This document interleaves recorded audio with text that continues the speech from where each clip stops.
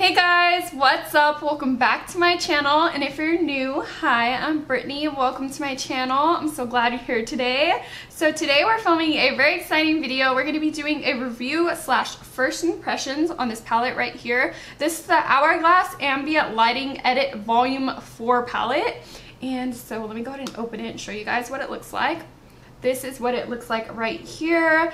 And I'm so excited to try this for you guys just because I've actually never tried any of the Hourglass bronzers, blush, highlight, or any of their like setting powders or finishing powders. I've tried the Hourglass Mineral Veil, but I've never tried any of the like lighting powders that these have and so I'm super duper excited. Before we jump into trying these on the face I do want to do some swatches of all the colors just so you could see what they're gonna look like and then we'll jump into trying it out on the face for the first time. So let's go ahead and get into the swatches.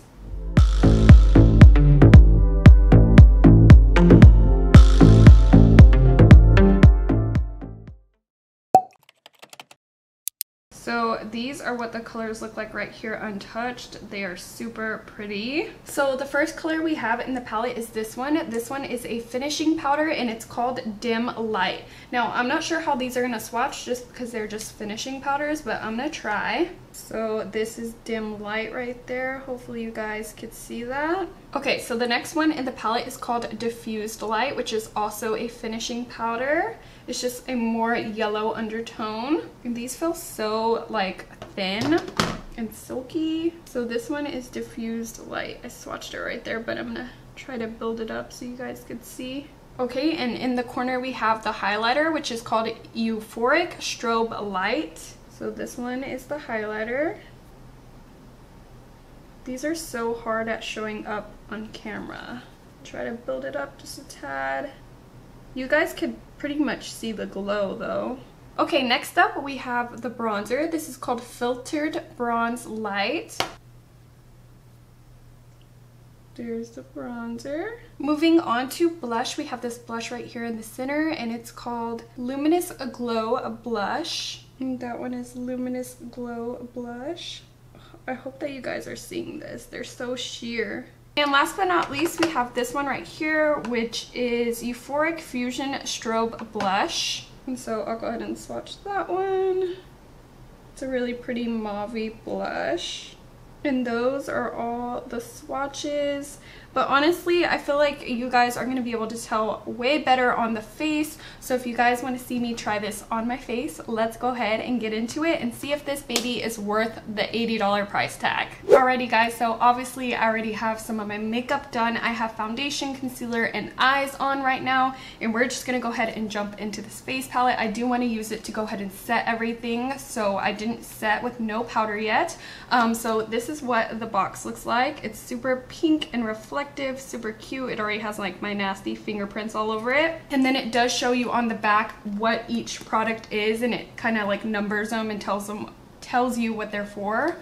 Um, so let's go ahead and open it. So it comes in a little black box and it does have this little card and it tells you what each powder is for and what their um, color is and it just gives you like a number reference which I really enjoy because I actually didn't know if the two powders in the front were setting powders but it does say that they are on this card so we're gonna go ahead and use this while we're doing this and let's go ahead and get the actual package out. Ooh, it is so pretty. So this is what the packaging looks like. Obviously, it still has that reflective pink packaging, and we'll go ahead and open it. And these are what the colors look like right here. So beautiful, and it does have a big mirror in there. So I'm first going to start off with this shade right here in the center. It's kind of a light yellowy powder, and I'm going to go ahead and use that to set my concealer. Now this one is called Diffused Light. But before we set it, I do want to make sure I blend out any lines under my eyes. And then I'm just using my Real Techniques setting brush to go in with that powder. It's a very, very lightweight powder. I can't even feel it going onto my skin. Oh my gosh, that looks so natural and pretty. So this is the eye that we set. It just looks so smooth and nice. And this is the eye without setting powder. And then I'm just to do the same exact thing to this side. Alrighty, so now that my under eyes are both set, I'm gonna go ahead and set my face with this first one right here. And this one is actually called Dim Light. So this is what my face looks like before I set it. Those are my pores right there. And I'm gonna go in with a small brush just because these pans are very small. And so I feel like if I put a big brush, it will just dip into the other products. So I'm just gonna take this on my e.l.f. blush brush. And these do have some powder kick up, but nothing too crazy and I'm just gonna go ahead and set my face. Oh crap. oh my gosh, guys. I went in with the highlighter. I meant to use this one on this corner, but I went in with the highlighter and it totally exaggerated my pores. Oh my gosh, I can't believe I did that. I guess because I was showing you guys and it confused me on which side to grab it from. So, oh my gosh. I don't know how I'm gonna get rid of this. So I'm just gonna try to blend it away. I can't believe I did that. Oh yeah, that's definitely helping. Oh, I'm such an idiot. So I'm just gonna go in with a little bit of my concealer just to cover that highlight. So we give this powder a fair shot. All right, I'm pretty sure I fixed it. Okay, so instead of dipping into the powder while I'm looking at the viewfinder, I'm gonna go ahead and just dip into the right one this time. With the same brush, I did clean it off and we're gonna try this again. Now actually going in with dim light this time, it doesn't feel like anything on the skin. It just feels so lightweight. Hmm. Okay. So this one, it looks like it's turning my foundation a little bit more pink, which I don't think I'm okay with. Do you guys see that? Uh, it does say setting powder, right? Like, what the heck? Dim light finishing powder. Yeah. So it's a finishing powder. Why is it turning my face pink? I'm so confused. And I'm actually dipping into the finishing powder, just so you guys know. Like, I'm dipping into this one, and it's turning my face pink. Ah, this is not going well, guys. Alrighty. So I guess I'm just gonna have to even it out and put it on this side. But as you guys can see, like, hopefully you're seeing this on camera. My face is literally pink. I just don't know. Maybe I'm putting too much? I'm so confused. But I don't know. I'm just gonna go ahead and set the rest of my face with this. Okay, so I might have figured out a solution to the whole pink face thing. Um, maybe if I mix the yellow color with this other finishing powder, it will be less pink. So what I'm gonna do is dip into both and set my face with this because I was looking so pink. Alright guys, so now my whole face is set. This is what we're looking like. I still feel like I look a little pink, but we're just gonna roll with it um, and try out the bronzer now. So um, this is the bronzer right here in the palette. It looks super pretty. It looks very cool tone, which I like. It is called Filtered Bronze Light Bronzer.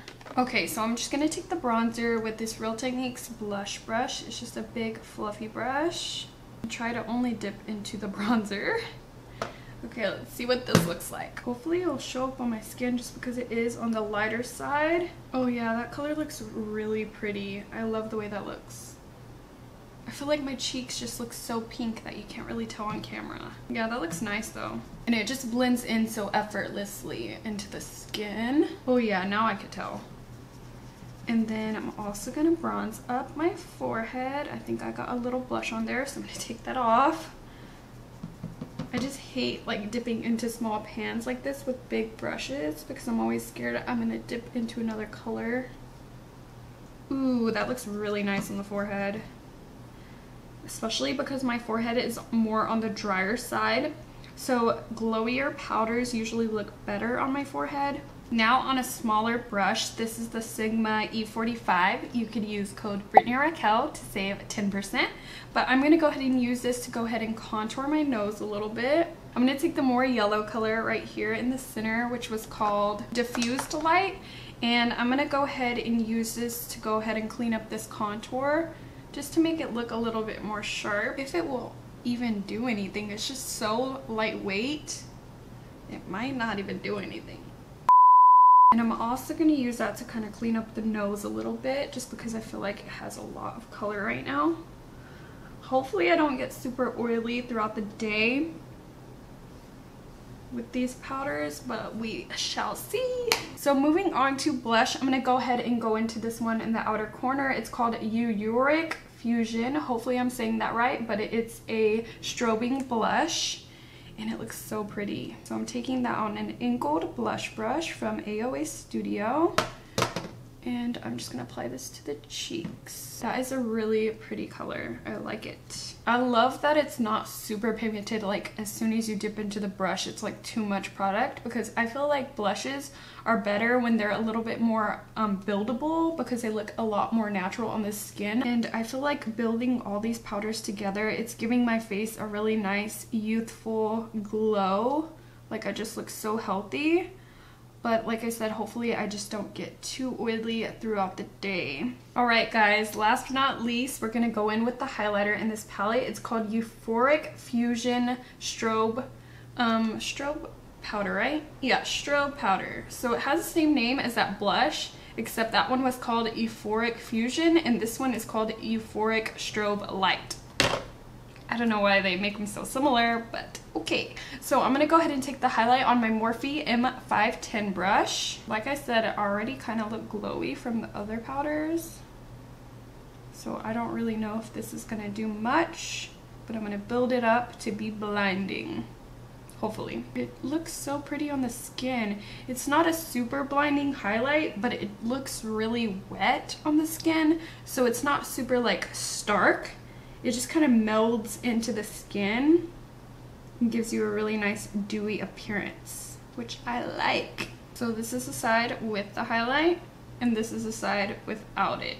It just melts so good. I can't stop saying that. Just like blends into the skin. Okay, and then I'm also going to use that same highlight to go ahead and highlight the center of my face, which I probably honestly don't need because I'm already looking so glowy in the T-zone and that is not good for oily combo skin. We're just gonna try it out. It's not really doing much for my cupid's bow. Yeah. I think that's all we're gonna get out of this highlight, but it's looking really nice. Alrighty guys, I'm gonna go ahead and finish up the rest of my makeup off camera and then I'll be back to tell you guys my final thoughts on this palette. Okay guys, I am back and all my makeup is done. What do you guys think. I'm gonna go ahead and tell you guys my final thoughts over this palette and tell you if it's worth the $80 price tag. So starting off with the first color, which is Dim Light. This is the one that I tried to use as a setting powder all over and as you guys saw, it turned my face really pink. So, so far I'm not liking that color. Um, I tried to mix in the yellow, but I still honestly feel like my face looks very pink right now. So I did not like that color. As for the second one, this one is called Diffused Light, and this one worked really, really good under my eyes, and my under eyes are looking a little yellow today, and I don't know if it's the concealer plus the powder or if it's one or the other, so I'm definitely gonna have to try that out with a different concealer, but so far I am liking it. As for the highlighter in this corner right here, this one is called Euphoric Strobe Light Strobe Powder. Whoa, that's a lot of strobe. Um, but this looks really pretty on the skin. I feel like it gives a nice glow. It's nothing too crazy. It's not a really stark highlight and you do have to build it up. But once you do, it just melts into the skin really pretty. And so I do like that one. As for the bronzer, it's not that dark, so you really have to build it up, especially if you're around my skin tone or darker. Um, if you're darker than me, I don't, honestly don't know if it will even show up because it is very sheer, but it did end up looking really nice on the skin. As for this blush right here in the center, this one is called a Luminous Glow Blush. I actually didn't use that one today, so I'm definitely gonna have to try that one some other day. And then last but not least, we have the color Euphoric Fusion Strobe Blush, which is this mauve blush right here here, which I did try today, and I really love the way it looked on the skin. It just looks really nice. It melts into the skin just like the setting powders, and it has just a really nice formula. So overall, I ended up liking all of them except for the first shade in the palette. But do I think this is worth $80? I honestly, Right now, I don't feel like it is just because they're very sheer. You have to build up a lot of the colors.